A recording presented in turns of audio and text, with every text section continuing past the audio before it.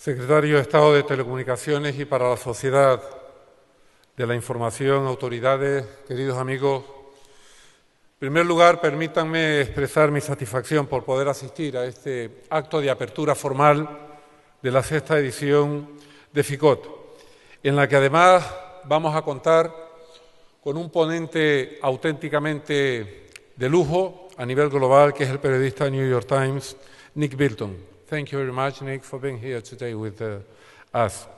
No podré quedarme después a su intervención, pero desde luego ya le dije que tan pronto red.es la suba a YouTube, que supongo que será a lo largo de esta misma mañana, pues no me la voy a perder.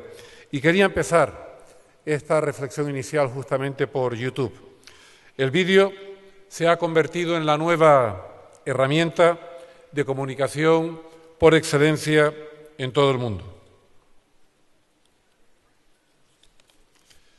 Hoy el tráfico de vídeo en relación a todos los datos móviles supone el 35%. De aquí a pocos años, solamente en seis años, estaremos ya en el 50%. YouTube supone mil millones de usuarios únicos cada mes, más de seis mil millones de horas de vídeo reproducidas cada mes. Si lo comparamos con la vida de una persona, diríamos que YouTube hoy ni siquiera ha llegado a su adolescencia. YouTube todavía es un niño, no ha cumplido 10 años. Nació en San Mateo, California, en el año 2005.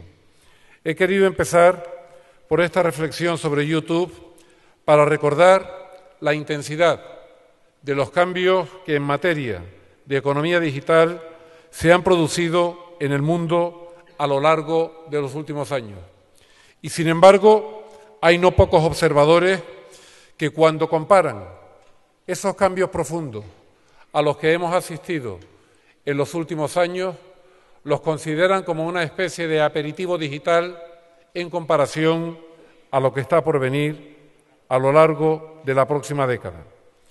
La economía digital está suponiendo oportunidades enormes, crecientes, por los instrumentos y las herramientas que ha puesto a nuestra disposición y que están cambiando nuestras vidas, pero que la van a cambiar mucho más. Hoy todavía hay quienes hablan de economía digital como la economía del futuro.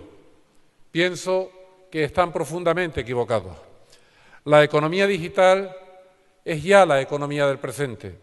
Llevamos muchos años utilizando dispositivos inteligentes, teléfonos inteligentes, aplicaciones, usando tabletas. El Internet de las cosas no es el futuro, el Internet de las cosas ya es el presente. La combinación en armonía de lo que es la máquina industrial convencional con las inmensas posibilidades que da la red, en definitiva la industria 4.0, es ya una realidad. La impresión en 3D no es el futuro, es una realidad. No hay que esperar al futuro para que alguien toque al timbre de tu puerta y le puedas responder a través de tu teléfono móvil desde la otra punta del mundo. Por tanto, el progreso, el avance y el desarrollo de la economía digital es ya una realidad. Por todo ello, desde el primer momento, hicimos desde el Gobierno una apuesta clara, inequívoca e irreversible por la economía digital. Pero no fue una apuesta aislada, fue una apuesta dentro de la política económica en su conjunto. Una política económica orientada a aumentar el empleo y, por tanto, a aumentar el nivel de actividad económica. Y ello comporta muchas cosas, pero hay una fundamental, que es aumentar el peso, el porcentaje, la representación de la industria en el conjunto de la economía. Sucede que a lo largo de los últimos años, no solo en España, también en Europa, hemos asistido a una caída creciente del peso de la industria en el conjunto de la economía, sobre todo en algunas economías. Ha ocurrido en Reino Unido, ha ocurrido en Francia, en Italia, en España, en Portugal, en Grecia. No ha ocurrido en algunas otras economías europeas, como es el caso de Alemania y otras. Y ahí hay una diferencia importante respecto al comportamiento de unas economías y de otras respecto a la fase baja del ciclo económico. Esa es la razón por la cual, desde el principio, uno de los objetivos fundamentales de la política económica ha estado orientado a dotar de mayor peso industrial al conjunto de la economía. Ahora bien, ¿qué significa más industria? No significa solamente apostar por los sectores industriales convencionales. Por supuesto que hay que apostar por la industria de la automoción, lo hacemos, y por la industria aeroespacial también, y por la industria naval, pero sobre todo hay que apostar, eso es lo que hace el Gobierno, por los sectores que mayor capacidad de innovación y de desarrollo tecnológico comporte ahora y en el futuro. Por tanto, por todo lo que tiene que ver con la industria digital, con todo lo que tiene que ver con el mundo de las telecomunicaciones. Y esa es la razón por la cual, desde los primeros meses de esta legislatura, el Gobierno preparó, acordó y abordó una agenda digital para España con el conjunto de los operadores del sector privado implicados en ella una agenda digital para España que trae causa de la agenda digital para Europa y que constituye una hoja de ruta del conjunto de las actuaciones y de prioridades que en materia de economía digital se marcó el Gobierno desde un primer momento. El impulso de la innovación, el impulso de los contenidos digitales, el impulso de la inclusión digital, procurar una mayor confianza digital, procurar una mayor internacionalización, de las empresas tecnológicas en España. También, en paralelo al desarrollo de la Agenda Digital para España, se aprobó un nuevo marco general de telecomunicaciones, una nueva ley general de telecomunicaciones que lo que tiene como orientación fundamental es remover las distorsiones, los obstáculos, los frenos que todavía existían en España con el fin de acometer inversiones que nos permitieran dotarnos de mayores facilidades digitales. El aumento de la conectividad digital en los últimos años ha sido efectivamente asombroso, pero en mi opinión creo que nada tiene que ver con el cambio exponencial al que estamos asistiendo ya en estos momentos y que se desarrollará de manera mucho más intensa a lo largo de los próximos años. Ya hay en el mundo tantas suscripciones a teléfonos móviles como habitantes en el planeta, cerca de 7.100 millones. Hoy, 3.000 millones de personas están conectadas a Internet, el 40% de la población mundial. Hay estimaciones que apuntan que en el año 2019 será el 100% de la población mundial el que esté conectada a Internet. Facebook tiene 1.200 millones de usuarios. Tiene más usuarios que habitantes hay en la India y cerca ya del número de habitantes que hay en China. En Twitter se escriben más de 500 millones de tweets al día. Twitter se ha convertido en la mayor plataforma de influencia del mundo hoy. Tradicionalmente, una persona, cuando no conocíamos las tecnologías de la información, tenía una capacidad de llegar a unas 150 personas aproximadamente. Hoy, con estas tecnologías, si multiplicamos esas 150 por otras 150 y por otras 150, llegamos a la conclusión que cada persona aisladamente considerada puede potencialmente llegar a más de 3 millones de personas. Todo ello está comportando cambios inimaginables en todos los aspectos de nuestra vida, en la sanidad, en la educación, en el ámbito de las administraciones públicas, en el comercio y, desde luego, en el turismo. Un sector ciertamente importante para la economía española. El primer sector de la economía española, 11 de cada 100 euros que se producen en España, vienen directamente del sector turístico. Y estamos asistiendo a un comportamiento que creo que podríamos calificar de extraordinario a lo largo de los últimos años. En el año 2013 60,6 millones de turistas visitaron a España. Este año, de acuerdo a cómo ha ido la evolución durante el periodo enero-octubre, como ha ido en noviembre y las perspectivas que estamos teniendo ya en este mes de diciembre, muy probablemente estemos en una cifra de visitantes internacionales próximos a los 63 millones de turistas. Y ese turista que nos visita es un turista cada vez más digital.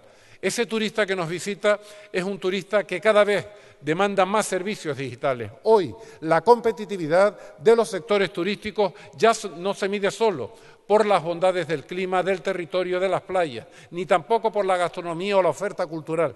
Todo eso es importante, va a seguir siendo importante, pero tendrá una creciente importancia en todo lo que tiene que ver la oferta turística, todo lo que sean servicios que se puedan prestar con soporte digital. Y por ello también en España, a través del Plan Nacional Integral de Turismo, se ha hecho una apuesta firme, clara, por la economía digital también en el sector. Por todo ello, me alegro de la consolidación de esta Feria Internacional de Contenidos Digitales, la sexta ya, pero mucho más me alegro de que FICOT esté demostrando la existencia de enorme talento en España y esté demostrando también las historias de éxito que se ven en un número creciente en todo el ámbito de la economía digital en nuestro país. Algunas historias de estas empiezan a ser conocidas, otras no lo son. En todas ellas hay detrás un enorme esfuerzo. Con anterioridad, antes de entrar a este acto, estaba hablando con Nick y me preguntaba que cuál era la razón de por qué en Europa a lo largo de los últimos años se había producido ese retraso digital sobre todo en comparación a nuestros grandes competidores en el mundo, fundamentalmente los Estados Unidos. Muy probablemente hay ahí una razón vinculada a las dificultades que hemos atravesado en toda Europa y también en España. Pero también le decía que eso está cambiando. Le decía que eso está cambiando porque cada vez es mayor el número de personas, jóvenes fundamentalmente, que lo que optan es antes por la iniciativa privada, antes por el riesgo, antes por ser emprendedor, que por la comodidad con la que hasta no hace mucho se vinculaba un futuro dentro del ámbito de la administración pública, siendo funcionario o siendo empleado público, lo cual es ciertamente necesario también pero qué duda cabe que el espíritu de emprendimiento empieza a ser cada vez una realidad más palpable entre los jóvenes españoles. Y me hablaba Nick de probablemente la necesidad de tener que profundizar más en la cultura del fracaso. Y me hablaba de una conferencia que se celebra cada año en Silicon Valley, que es la conferencia del fracaso, donde van quienes han tenido experiencias en el fracaso, cuentan por qué han fracasado y cuentan por qué aprendieron de ese fracaso. Y me contaba también otra cuestión, y era que los inversores, a la hora de determinar o estudiar si financiaban un proyecto o no, el hecho de que hubiesen fracasado un cierto número de veces era como una especie de fortaleza y una especie de activo, porque eso llevaba enseñanzas de cara a los proyectos que se hacían en el futuro. Por tanto, creo que también esta FICOT es una oportunidad para poner en valor no solo la cultura del éxito, sino esa cultura del éxito basada también en el aprendizaje que todos tenemos que tener de la cultura del fracaso. Hay que contarla. Cada éxito supone un peldaño individual, pero de ese peldaño y éxito individual se llega al éxito colectivo. A lo largo de los últimos tres años hemos estado tomando medidas de política económica en España que han sido medidas ciertamente muy difíciles, pero que eran absolutamente necesarias. Hace pocos días se celebraba en Australia, en Brisbane, la reunión del G20 y cuando abría la conferencia inaugural el primer ministro de Australia, Tony Abbott, decía literalmente que España tenía una historia de éxito que contar que España empezaba a ver resultados positivos y resultados favorables de las reformas que hemos llevado a cabo. Y es verdad que todavía tenemos problemas serios, problemas profundos. No podemos decir que todo esté hecho, ni muchísimo menos, cuando tenemos una tasa de desempleo del 23,5%. Y eso es una muy mala noticia. Pero hay buenas noticias. Hay buenas noticias como las que conocimos esta mañana, hace escasamente una hora, cuando se dieron a conocer los datos de las cifras del empleo durante el mes de noviembre. Ha sido el mejor mes de noviembre durante los últimos 19 años. Desde el año 96 no se había producido ningún mes de noviembre en nuestro país con una creación de empleo de cerca de 15.000 personas. Sí, ya lo sé, es muy poco, pero en economía son importantes las cifras absolutas, pero en economía también son muy importantes las tendencias. Y la tendencia importante dice que hoy la prima de riesgo, cuando llegó a estar en España en 639 puntos básicos, hoy está en 110. Hoy la realidad de los hechos dice que la rentabilidad del bono del Tesoro a 10 años, ese que emitimos para poder pedir prestado dinero, está en el 1,84%, estuvo en el 7,5%. Y la realidad de los hechos dice también que después de varios años de caída de la actividad económica, después de varios años de recesión en la economía española, este año 2014, por primera vez en esos años, no vamos a tener una caída en la actividad económica, sino que vamos a crecer. Vamos a crecer un 1,3% y el próximo año vamos a crecer un 2%. Y ese crecimiento va a generar empleo y ese empleo va a permitir tener avances claros en la evolución del desempleo. Evidentemente hace falta toda esa estabilidad macroeconómica, pero sobre todo hace falta que los sectores reales de la economía pulsen con intensidad y dentro de los sectores, el sector industrial y dentro de la industria todo lo que tiene que ver con las telecomunicaciones y todo lo que tiene que ver con la economía digital. CICOT, desde luego, es una plataforma extraordinaria para poner en valor todo lo que ustedes están hechos, pero sobre todo todo lo que está por hacer entre todos en el futuro. Muchas gracias y declaro formalmente abierta esta jornada.